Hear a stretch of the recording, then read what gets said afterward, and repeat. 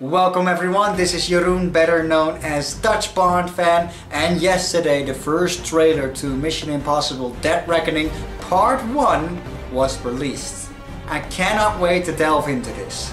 If you are new to this channel, I'm gonna throw a disclaimer out there straight away. This is a channel that's mainly centered around the James Bond franchise. By no means does my knowledge on the Mission Impossible series stretch as far as it would on the Bond series. However, with that being said, I have watched all of the Mission Impossible movies. I have reviewed the first three on my channel.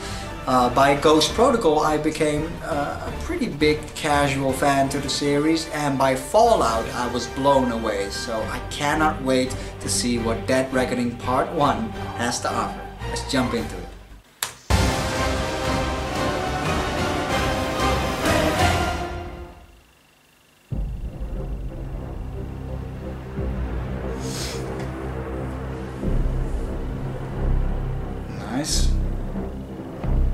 Italy, nice. Rome. Oh, cinematography looks great. Fighting for the so-called greater good are over. Kittredge! I knew he was gonna return. I've heard the rumors. Nice. To control the truth, the concept back. of right and wrong for everyone for centuries to come. You're fighting to save an ideal that doesn't exist. Nice, this looks great. Never did. You need to pick a side.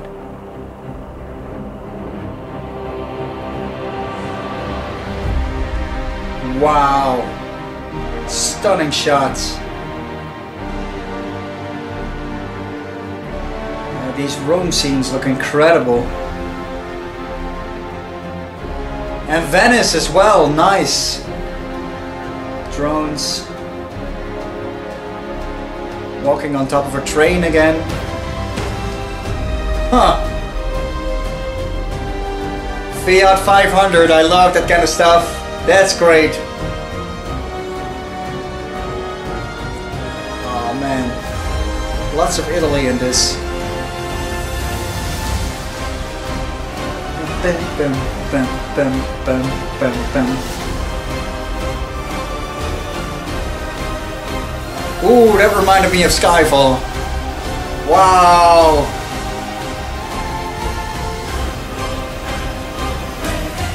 Oh, nice.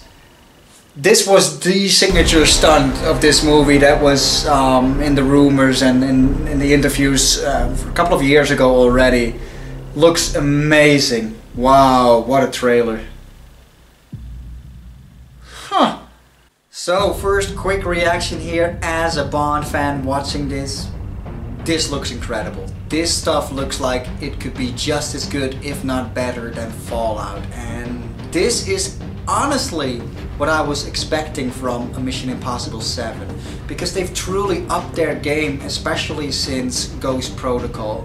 The thing I find as a Bond fan with Mission Impossible is you don't necessarily remember the plots. You don't necessarily remember the villains or the characters. Apart from maybe uh, Philip Seymour Hoffman from uh, the first Mission Impossible movie.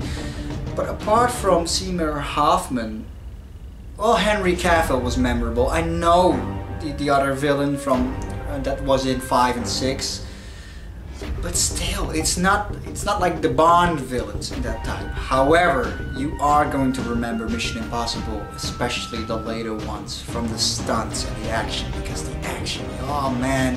To be honest, and this hurts as a Bond fan to say, Bond can't compete with the action here it's just so good and and the thing is Tom Cruise he's he's really carrying these movies. He he does all the stunt work and it shows. You know that by jump at the end he did that. It's him flying off that cliff. You know that he's crazy enough to do it and it's the same when he took the helicopter lessons for Fallout or when he did the halo jump and all the crazy stuff hanging on, on a plane in uh, Rogue Nation. The guy's a lunatic so um, the movies show that kind of quality. I also gotta say I love the Italy scenes in this. I'm a big fan of Italy in general and uh, those scenes with the Fiat 500 or the Cinquecento, I love that type of stuff. Of course, let me get something.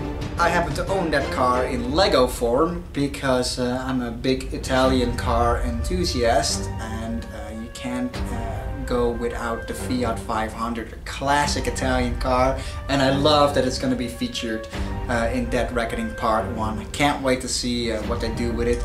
It kind of looks like the type of stuff you would see in, again, let's go move it to Bond, For Your Eyes Only, Roger Moore. Uh, that wasn't the Fiat 500, but it's very similar to have like a tiny yellow car. Of course, that was a Citroen, but still, uh, I can't wait to see uh, all that stuff that they're going with there. The Venice scenes look stunning, the cinematography looks beautiful. I love that they brought uh, Kittredge back from the very first Mission Impossible movie. I can't wait to see what the plot is to be like. I know I'm probably, as a casual fan, to end up forgetting most of the plot after seeing it once, but I know for a fact I'm also to remember the action for years to come because to me that's Mission Impossible in a nutshell. You just can't compete lately uh, as a Bond fan with the amazing action these guys are pulling. And it used to be the other way around where Bond was the trendsetter, especially uh, the early movies.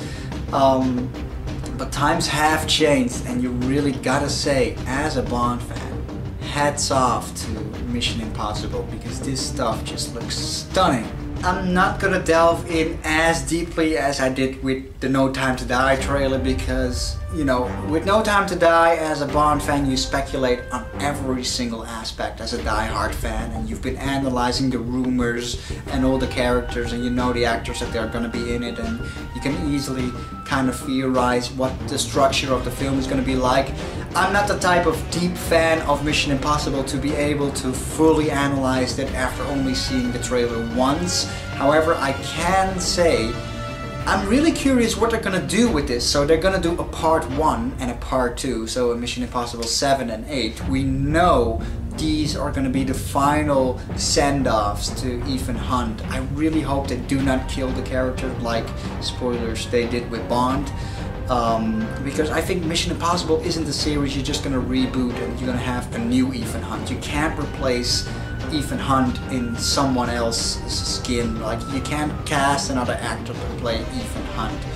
I think it should always be Tom Cruise, and if they're going to continue the series, they should just bring in a new agent, and you know maybe Cruise could do a cameo in one of the future films as an older senior Ethan Hunt, but he should never be replaced as like, oh, now this guy's gonna be Ethan Hunt, like they do with Bond. It's very different. I think the, this series has potential to go on for years to come, uh, and these are probably gonna be amazing movies as a send-off to Tom Cruise. Um, so I, I don't know. I can't wait to see uh, uh, how that's gonna work. I have no idea how they're gonna send him off. I just know, you know, from seeing the final Mission Impossible movies the last few that Cruise is gonna do amazing here. Especially for a guy his age, he's he's he's great. What a lunatic. So overall, can't wait for Mission Impossible: Dead Reckoning Part One. Hope you enjoyed this quick reaction from a Bond fan, and again from a Bond fan to you guys, Mission Impossible fans. Hats off because you truly made me a casual fan as well. What a fantastic franchise. Can't wait to see this film.